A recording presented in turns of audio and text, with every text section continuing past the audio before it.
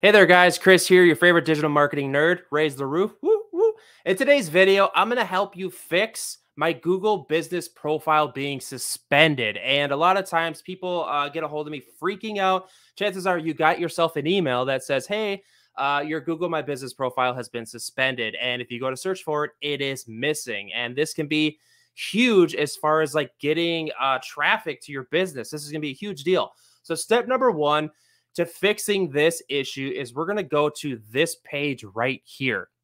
And guys, uh, what I'm going to do here is I'm going to go over how you should go about fixing this. Um, I could charge you amounts of money to fix this because a lot of agencies do this, but I'm just going to show you how to do this. But if it by any chance is too overwhelming for you to try to fix, then you can uh, consider hiring me. I will throw a link in the description to my agency website to set up a meeting. So, first of all, uh, what I find here, guys, when people get their Google My Business profile suspended, it's it's one of two things. You either it's the mon pa shop that doesn't know a lot about anything online, and they're like, oh, I don't know what happened, you know, or it, you know, it's just like pure randomness that it gets suspended, or two, it's a sneaky business tactic or business that's trying to like use multiple Google My Business profile listings and they're trying to kind of like game the system. So what uh but I'm going to get into this. Step number one for fixing uh, Google My Business profile being suspended is you got to fill this out.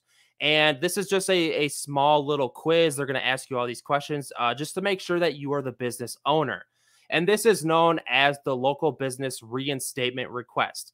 Did you already submit a reinstatement request? No. Are you the official representative of the company, organization, or account? This one's very important. You need to click yes because this proves that you are the owner. Because uh, you're not going to get very far if Google doesn't think you're the owner because they deal with a lot of hackers trying to get into these uh, accounts. They overtake them, la di da di. Uh, that's the story. So, and then what we do here is we fill out this entire quiz. It's a series of like eight or nine questions. But then what they're going to do here when you get when you're finished filling this out, uh, uh, by the way, I'll throw a, a link to the form to this in the description of the video as well. And then when you are finished filling this out, um, they're going to send you an email and you are going to, they're going to ask you to go through the steps to fix your Google My Business profile listing. And uh, what sucks here is Google is very vague about, you know, like they're not going to tell you you screwed this up. What they're going to do is give you, tell you to go fix it.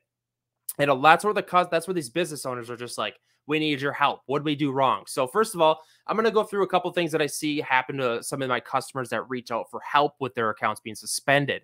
So, first of all, if you have multiple locations, uh, this is this is the biggest thing I see people get hit with. If you have multiple business my um, Google My Business profile listings, um, what happens is they screw up like naming them. Uh, the name of each listing has to be the same, which is the business name, right? It doesn't make any sense to have different business names.